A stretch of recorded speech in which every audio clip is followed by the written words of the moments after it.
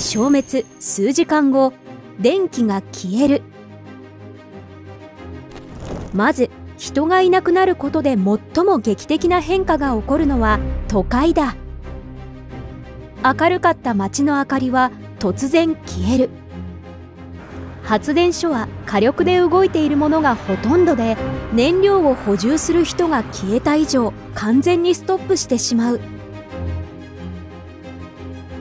SNS のデータなどクラウドに記録されたものも停電しバックアップ電源装置に切り替わった後数日で全てのデータは消失する。風力発電は潤滑剤効果が切れるまで。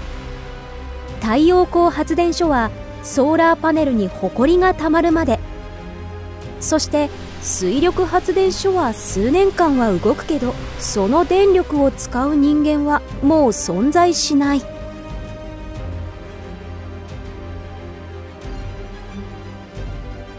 人類消滅3日後地下が水没。